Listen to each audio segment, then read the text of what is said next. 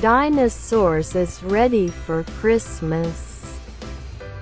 Like and subscribe for a candy.